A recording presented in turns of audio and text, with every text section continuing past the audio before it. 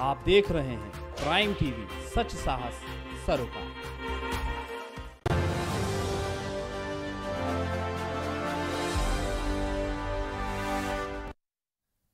नमस्कार, उत्तर प्रदेश की खबरों में आपका स्वागत है। मैं हूँ आपके साथ अनुष्का सिंह।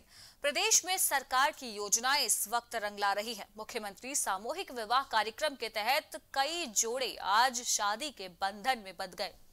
प्रदेश के कई इलाकों में लोग शादी के बंधन में बंधे। बता दें कि कई जोड़े शादी के बंधन में बनते नज़र आए हैं।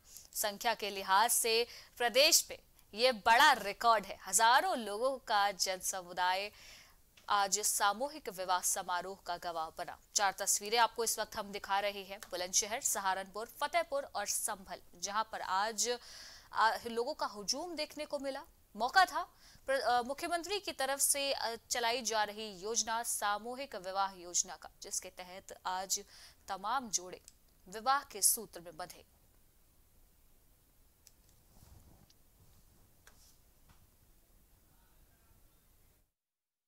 सबसे पहले तो यहाँ पर आज माननीय मुख्यमंत्री सामूहिक विवाह योजना के अंतर्गत लगभग हमारे 500 से ऊपर विवाह हुए हैं। एग्जैक्ट संख्या तो अभी हम लोग जब गिनती करेंगे तभी पता चल पाएगी, लेकिन 500 से ज़्यादा जोड़े का विवाह संपन्न हुआ है।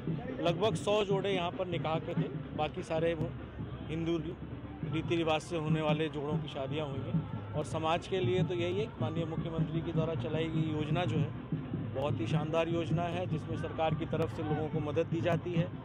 वर वधु को सामूहिक रूप से करने की वजह से अन्य कई कृतियों पर भी प्रभाव लगता है। आज 32 जोड़ों का आज विवाह संपन्न हुआ है और माननीय मुख्यमंत्री जी की जो ये योजना है, सामूहिक विवाह योजना, उसमें हम लोगों ने पूरे सम्मान के साथ इस कार्यक्रम का आयोजन किया है और सभी को हम लोगों ने आमंत्रित किया है। समाज के जो भी विशिष्ट लोग हैं, वो लोग भी गिफ्ट लेकर के आए हैं। और इस अवसर पर हम लोगों ने जितने भी नए जोड़े हैं, उन सबको स्वच्छता का भी संदेश दिया है और उनको शपथ दिलाई है कि हम स्वच्छता में भागीदार बन करके सहारनपुर को नंबर वन बनाएँगे। और उनसे मैंने अपील की है कि जो भी योजनाएँ सरकार की चल रही हैं, हर योजना को उनको जानकारी दी गई है। वो जिस योजना में भी लाभ लेना चाहते हैं, वो आवेदन करें और उस योजना का लाभ लें और अपने आर्थिक जीवन, अपनी आर्थिक उन्नति ज़रूर करें। ये जो सरकार की जो भी योजनाएँ हैं, उस योजना का यही एक उद्देश्य है कि लोग आर्थिक रूप से मज़बूत बने, जो कमज़ोर, समाज के जो कमज़ोर लोग हैं, उनको इस योजना का लाभ मिले और इस योजना से लाभान्वित होकर के वो अपने को मज़बूत रखें, जिससे हमारा प्रदेश मज़बूत होगा, हमारा देश मज़बूत होगा। जनपदों में सामूहिक मुख्यमंत्री सामूहिक विवाह योजना के अंतर्गत शादियाँ हो रही है। तो आज जनपद संबल में भी लगभग जो हम पाँच सौ छत्तीस जोड़े हैं जो हिंदू रीति रिवाज से अपने प्रणय सूत्र में बंध रहे हैं तथा 202 ऐसे जोड़े हैं जो कि निकाह निकाह के अंतर्गत उनकी शादियाँ हुई है। तो कुल सात सौ अड़तीस जोड़े हैं जो आज के अवसर पर उनकी शादियाँ हो रही है और सरकार ने इनका खास ख्याल रखा है। इन लोगों को जो भी शादी में जितनी सामग्री की ज़रूरत होती है सरकार के माध्यम से दी गई है और इस पूरे सामूहिक जो विवाह योजना है इसके अंतर्गत आप जैसा देख रहे होंगे बहुत ही सुंदर और बहुत ही पवन जो समा बना हुआ है, ये दृश्य बना हुआ है, बहुत सुंदर बना हुआ है और इस अवसर पर इन सभी जोड़ों को मैं भविष्य के लिए बहुत अच्छी शुभकामनाएँ देता हूँ कि ये जो दाम्पत्य जी, दाम्पत्य जीवन में जो बंध रहे हैं, ये पूरा जीवन अच्छे से निभाएँ।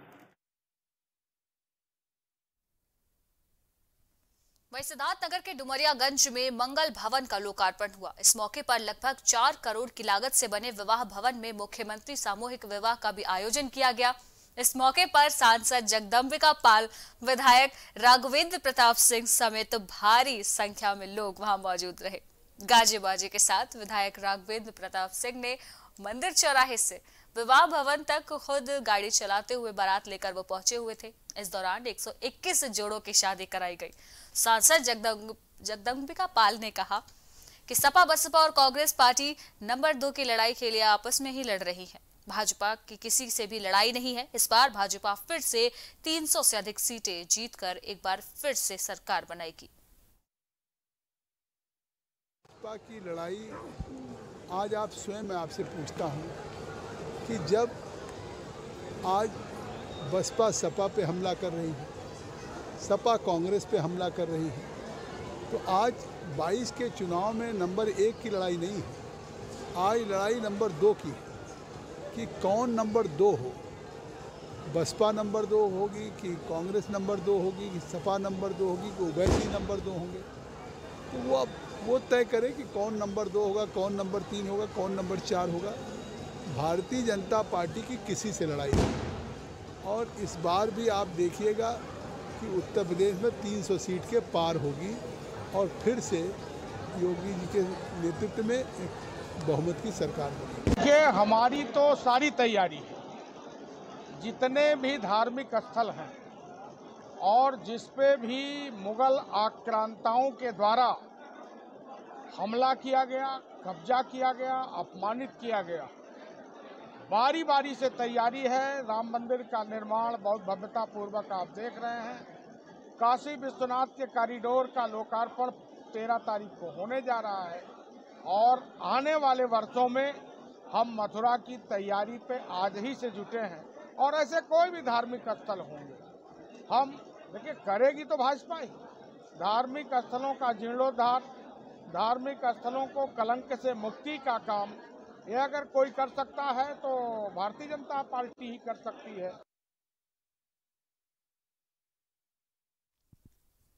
बलिया के रसरा स्थानीय डाक बंगले बीजेपी में पूर्व मंत्री और सांसद हरि नारायण राजभर ने ओम प्रकाश राजभर पर बयान दिया। अब उनका ये विवादित बयान जमकर वायरल हो रहा है। पूर्व सांसद हरि नारायण ने कहा कि राजभर वोटों में ब्लैकमेलिंग करते हैं। इसलिए जनता ऐसे लोगों का बिल्कुल भी साथ नहीं देने वाली।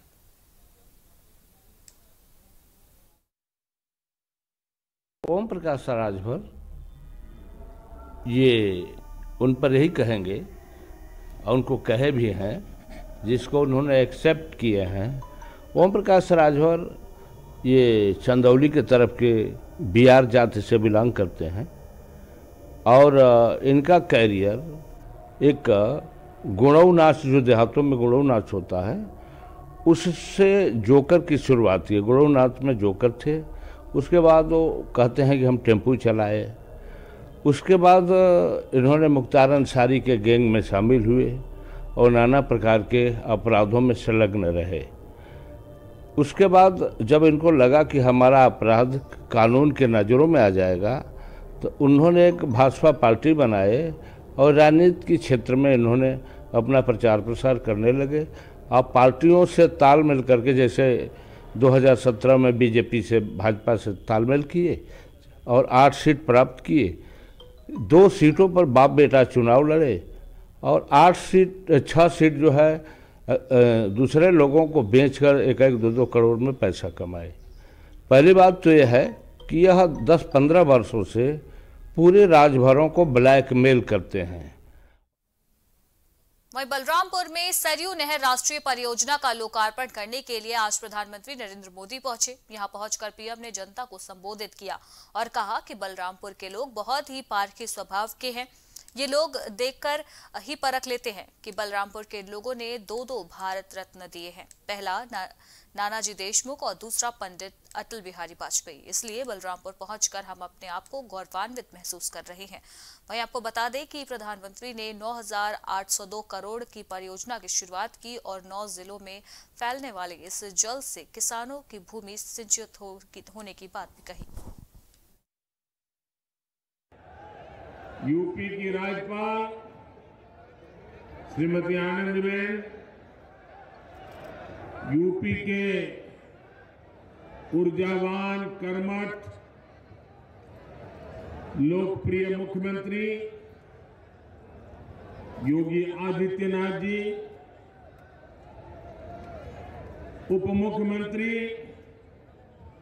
श्रीमान केशव प्रसाद मौर्य जी केंद्रीय मंत्री गजेंद्र सिंह शेखावत, कौशल किशोर जी,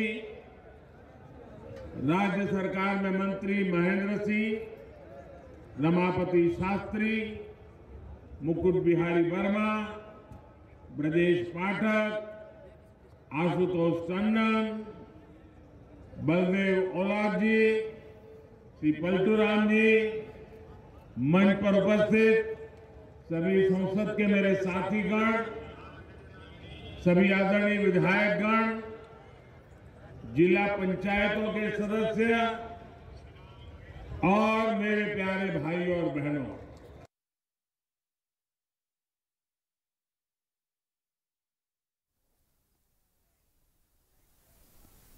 राष्ट्रीय लोक अदालत के विषय पर न्यायाधीश अश्विनी कुमार त्रिपाठी ने जानकारी दी और न्यायाधीश ने कहा कि सुलह समझौतों के आधार पर वादों का निस्तारण करने के लिए 11 दिसंबर को राष्ट्रीय लोक अदालत का आयोजन हुआ है। आगे उन्होंने बताया कि राष्ट्रीय लोक अदालत का संक्षिप्त उद्घाटन 11 दिसंबर को न्यायालय परिसर स्थित सभा कक्ष में किया जाएगा। न्यायाधीश ने बताया कि वो राष्ट्रीय लोक अदालत में निस्तारण होते हैं, उसमें दोनों पक्ष की जीत होती है। ये राष्ट्रीय लोक अदालत के बारे बाद राष्ट्रीय लोक लोक अदालत का आयोजन 11 दिसंबर को पूरे जनपद में और सभी तहसील स्तर पर किया जा रहा है।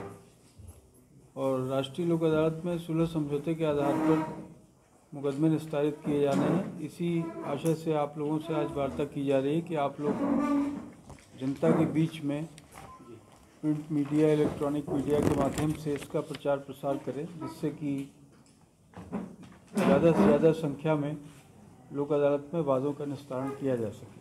उनको जनता को ये पता चल सके, वादकारियों को पता चले कि सुलह समझौते के आधार पर वादों का निस्तारण वहीं गोरखपुर में राष्ट्रीय संघ सेवक के सक्रिय कार्यकर्ता विकास शुक्ला ने प्रेस वार्ता की। इस दौरान अपनी पीड़ा बताते हुए उन्होंने कहा कि मेरी ज़मीन को जबरन पूर्व सपा नेता कब्जाना चाह रहे हैं और जान माल की धमकी देने के साथ ही मुकदमे में सुलह का भी दबाव बना रहे हैं। आगे उन्होंने आरोप लगाते हुए ये भी कहा कि पुलिस प्रभाव और कई मामलों को लेकर लिपापोती करती हुई इस वक्त दिखाई दे रही है। इस दौरान परशुराम सेना के प्रदेश महामंत्री प्रशांत पांडे ने कहा कि इस दबंग सपा नेता के खिलाफ हम लोगों ने कई बार शिकायत की है, लेकिन पुलिस और जिला प्रशासन ने इस पूरे मामले में कोई भी कार्रवाई नहीं की। इसी के साथ पीड़ित कार्यकर्ता ने यह भी कहा कि अगर हमारी परेशानी नहीं दूर होगी तो आने जान, आने वाले दिनों में हम लोग अनशन करेंगे।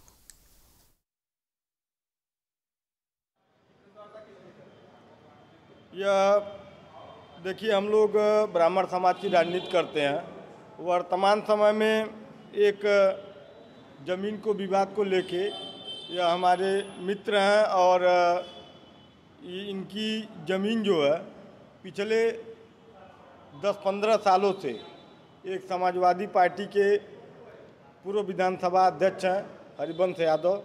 उन्होंने फर्जी तरीके से इनकी ज़मीन पर कब्जा कर लिया था।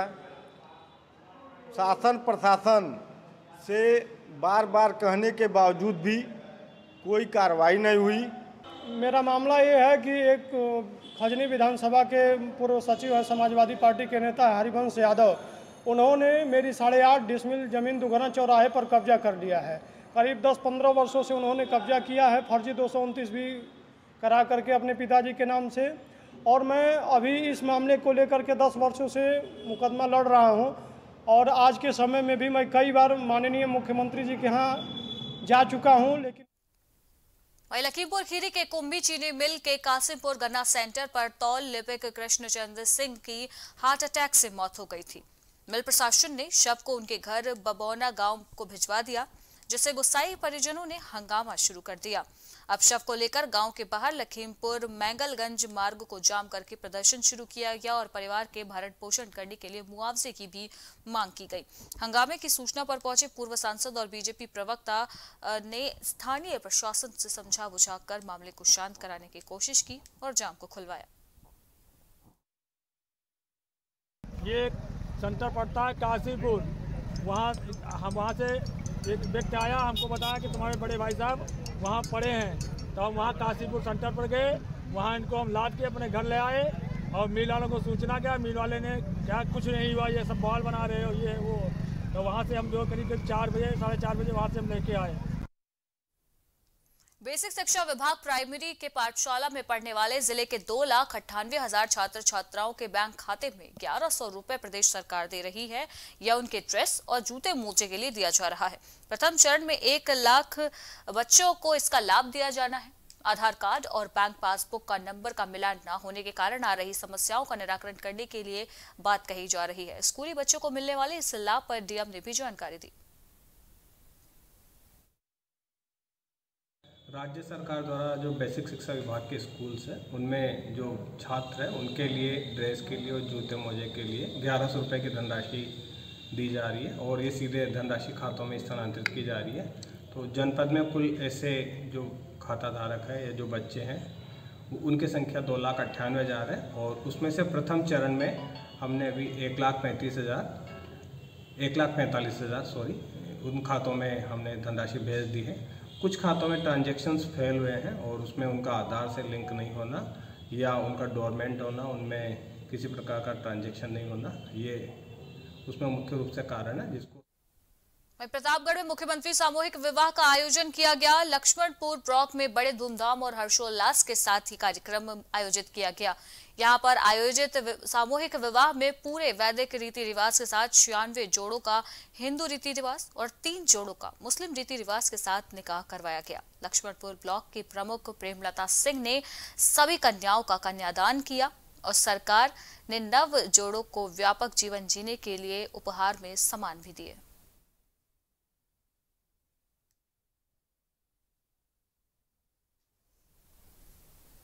वही रायबरेली में सलोन विकास क्षेत्र के स्वाधीनता का अमृत महोत्सव रथ यात्रा के साथ भारी संख्या में क्षेत्रीय लोगों ने इसमें भाग लिया है, जिसमें रथ पर भारत माता की झांकी सजाए हुए गाजे बाजे के साथ हाथों में तिरंगा लिए हज़ारों की संख्या में लोग दिखाई दिए। लोगों ने इस यात्रा को प्रारंभ किया। यात्रा प्रारंभ करने से पहले सर्वप्रथम स्वर्गीय सीरियस विपिन रावत और उनके साथ शहीदों को याद किया गया और उनको श्रद्धांजलि दी गई। इस यात्रा में सलोन के राष्ट्रीय स्वयंसेवक संघ के नेतृत्व में क्षेत्र की महिलाएँ और हज़ारों नवयुवकों ने हाथ में झंडा लेकर माधव दास मंदिर सलोन से तिरंगा यात्रा की शुरुआत की।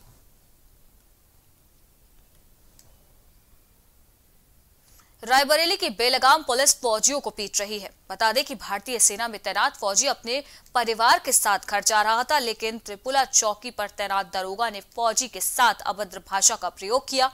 अब पुलिस के इस अमानवीय चेहरे से फौजी और उसके परिवार में काफ़ी आक्रोश है।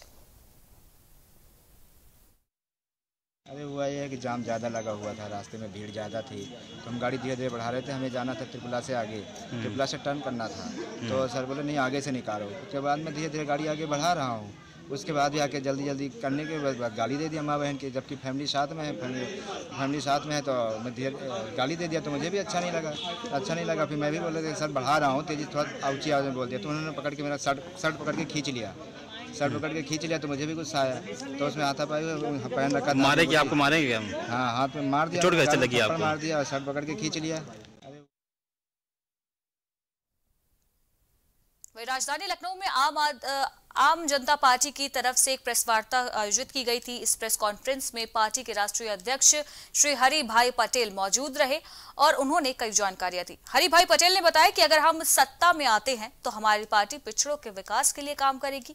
इन्हीं सारे मुद्दों को लेकर हमारे संवाददाता ने राष्ट्रीय अध्यक्ष हरि भाई पटेल से खास बातचीत की।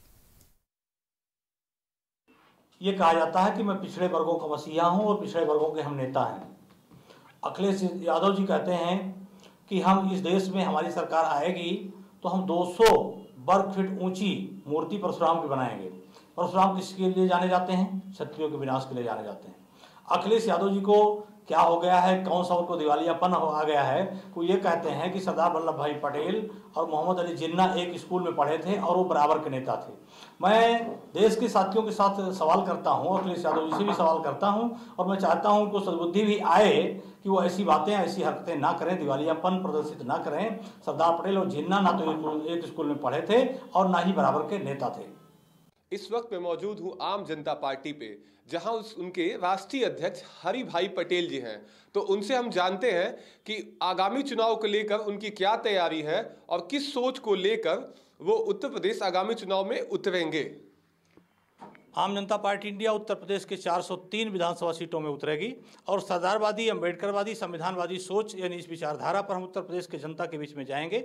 हमारा पहला इशू होगा कि हम जो है रोज़गार के उठाएँगे, शिक्षा को उठाएँगे, महिला उत्पीड़न को उठाएँगे और शराबबंदी को उठाएँगे और नेक्स्ट मुद्दा है, हम इतिहास को उठाएँगे। इतिहास में जैसे सरदार वल्लभ भाई पटेल का जिला बनाएँगे सरदार वल्लभ भाई पटेल के नाम से योजनाएँ चलाएँगे, डॉक्टर अंबेडकर, अहिल्याबाई होलकर सहित पृथ्वीराज चौहान, इन महापुरुषों के नाम पर हम योजनाएँ चलाएँगे इन्हीं महापुरुषों के सवाल पर हम लोग जाएँगे, इन्हीं की विचारधारा गाँव में की जनता के बीच में बताएँगे, इन्हीं महापुरुषों के विचार पर ही हम जनमत को तैयार करेंगे और इसके साथ साथ जो हम विरोध करेंगे, उसमें परशुराम के मंदिर का विरोध करेंगे।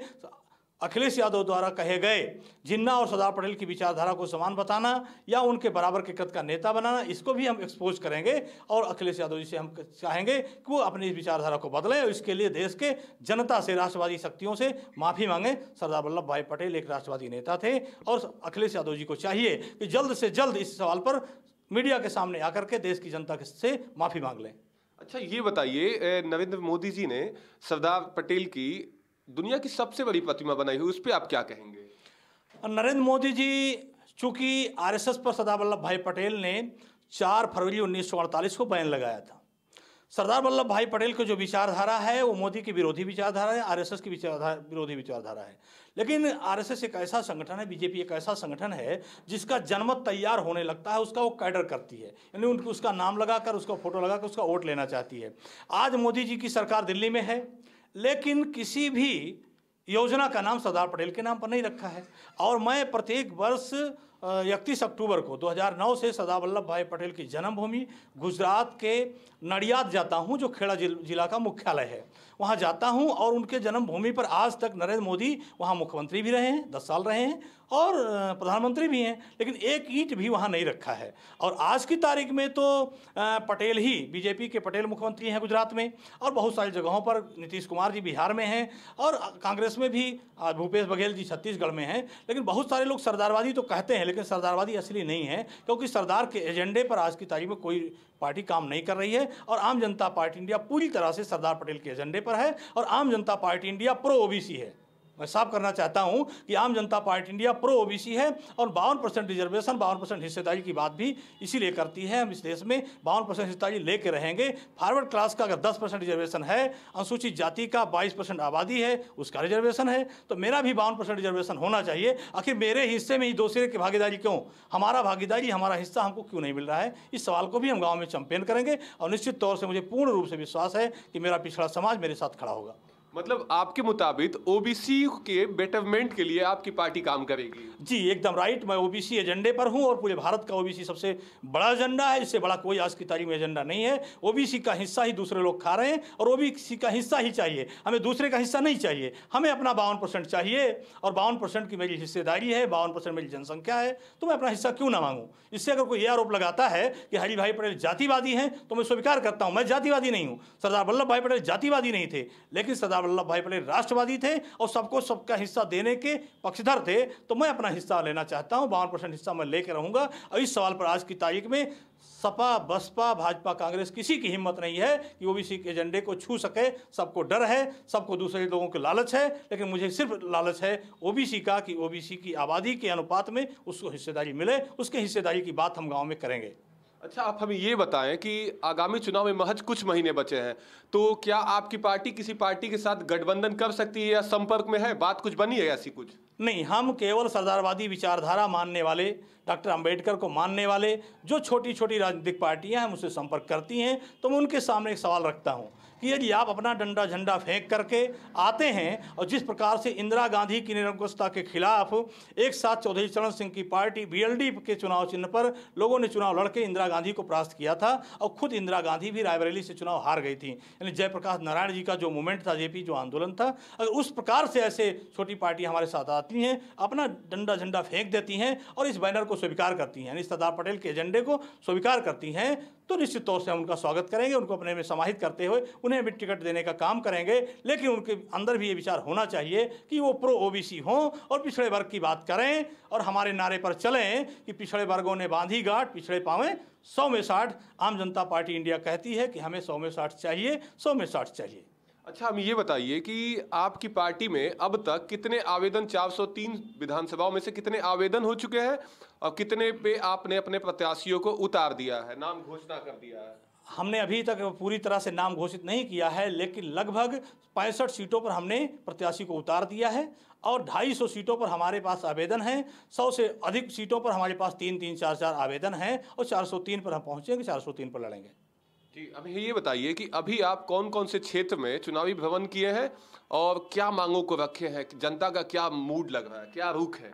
हम सरदार पटेल के एजेंडे पर लखनऊ, सीतापुर, लखीमपुर, खीरी, बहराइच सरवस्ती संत कबीर नगर, गोंडा, बहराइच, इसके अलावा आपका गोरखपुर, महाराजगंज, देवरिया, मऊ, बलिया, आजमगढ़, वाराणसी, चंदौली, इलाहाबाद, प्रयागराज, सोनभद्र, जौनपुर प्रतापगढ़, सुल्तानपुर, अंबेडकर नगर, फैजाबाद इत्यादि जिलों का हमने सघन दौरा किया है। और पश्चिमी क्षेत्र का भी हमने दौरा किया है, लेकिन पूर्वांचल में हमारा काम ज़्यादा है और पूर्वांचल के लगभग नब्बे परसेंट सीटों पर हमारी तैयारी पूरी हो चुकी है।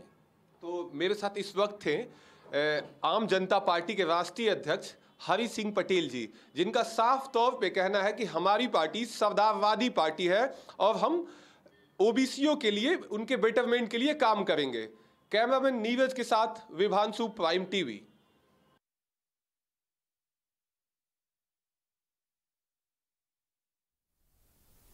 वहीं लखनऊ में समाजवादी पार्टी के राजधानी कार्यालय में एक प्रेस कॉन्फ्रेंस आयोजित की गई, जिसमें सपा अध्यक्ष अखिलेश यादव ने जिला अध्यक्षों, महानगर अध्यक्षों, विधानसभा अध्यक्षों की आगामी चुनाव को लेकर मंथन किया।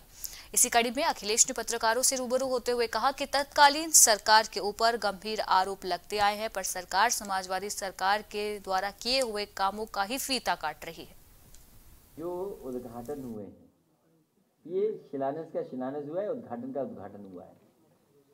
इसलिए समाजवादी पार्टी ने कहा है कि ये सरकार ऐसी है जो नाम बदलने वाली है, रंग बदलने वाली है और फीता लखनऊ से दिल्ली से कैंची और उद्घाटन हो रहा लगा था जिलाधिकारी ने पैसे नहीं मांगे हों कि बस कहाँ से लाई जाए, कैसे लाए, उसके लिए पैसे दिए हों। ये सब सरकारी रैलियाँ हो रही हैं। पूरे प्रदेश में अभी तक भारतीय जनता पार्टी जनता की रैली नहीं कर पाई है। ये सब सरकारी रैली कर रही है। उत्तर प्रदेश की जनता जान रही है कि योगी जी जा रहे हैं। लोगों को योगी सरकार नहीं, एक योगी सरकार चाहिए। जो उद्घाटन हुए हैं। ये शिलान्यास बेसिक शिक्षा विभाग इस बार छात्र छात्राओं को यूनिफॉर्म, स्वेटर और स्कूल बैग निशुल्क बांटने की जगह धनराशि अभिभावकों के खाते में डीबीटी यानी डायरेक्ट बेनिफिट ट्रांसफ़र के माध्यम से सीधे उनके खातों में भेजना चाहते हैं। बेसिक शिक्षा मुख्यालय से लेकर विद्यालयों तक कई महीनों से इसकी तैयारियाँ भी चल रही हैं और अभिभावकों के अकाउंट नंबर भी स्कूल ने ले लिए हैं। मगर अब तक मात्र ग्यारह सौ रुपए ही अभिभावक के अकाउंट में आए हैं। जिसकी वजह से अब तक कक्षा एक से आठ तक के बच्चों को यूनिफॉर्म, स्वेटर नहीं मिल पाया है।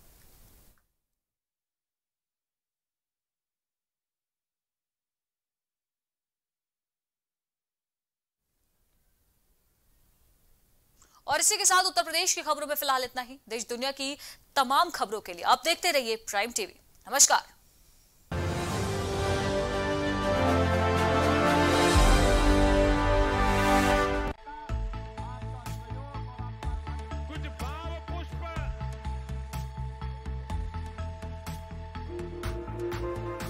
आप देख रहे हैं प्राइम टीवी सच साहस सरोकार।